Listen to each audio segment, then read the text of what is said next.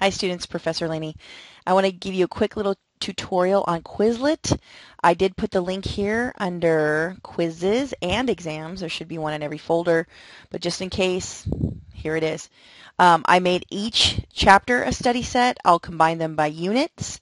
Um, I have a running total of all the terms together and then a separate list just for acronyms. So it's a free app. I believe it's a Facebook-based app. You can get it on your phone. It's great. You can just use it while you're standing in line somewhere, and it's pretty awesome. You can use it for, you can make your own sets and set it up for your old, all your classes too. It's pretty great. So ours here, this is just going to be our list of acronyms. Look at this. All these letters that mean these things. That's a big deal in special ed. You're going to get a lot of those. So um, click here to see the rest of the sets. Chapter 1, 2, this is going to be the running total of all of the terms, and there's your acronyms. So let's say chapter one, we wanted to, you know, work on that. It also will tell you if you've missed stuff. So you, here's the tricky part. You have to spell it exactly. If there's a typo, you're going to miss it. But it also helps you with spelling, language acquisition, in case you need more practice. So there's different things that you can do, like flashcards right here. Towards an egalitarian society they must be talking about social justice. Yay, right? You can also do this thing where it gives you this, supports to compensate for disabilities. Accommodations. Now, if I put accommodation, it would say you're wrong, or you could overwrite it to say, no, I was really correct. Living center. Okay. Good. So just look right here. It'll give, your running total and things like that, right? So you, there's a lot of things that you can play with here. Excuse me. Um, the speller, which is good. So I'm not sure if you can hear that, but she said high incidence disabilities. Disabilities. I wonder if it needs a dash. We'll see. Oh. Americans I wonder if it needs it capitalized. Not sure. Not free appropriate public education. FAPE.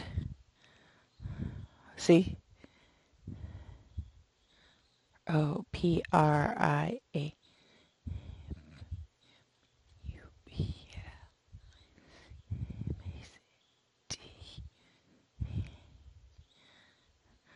helping.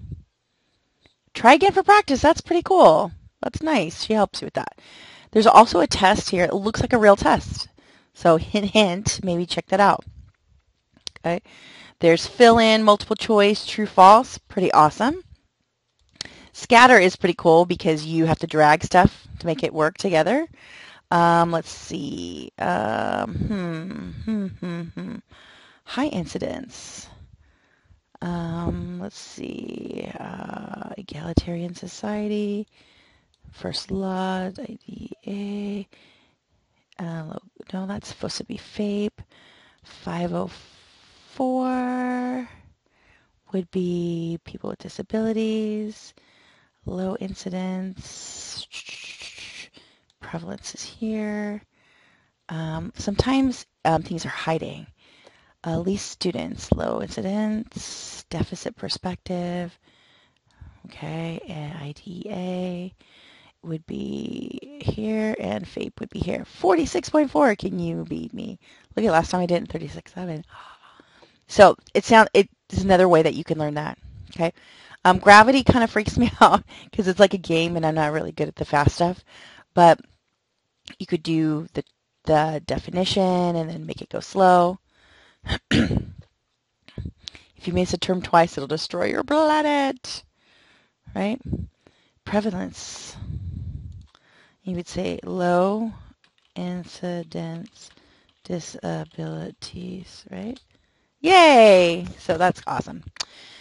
So again, you can um, do it any way that you want. It's super fun. So I just wanted to make that available for you guys, and I hope you enjoy, and I'll see you on the next video.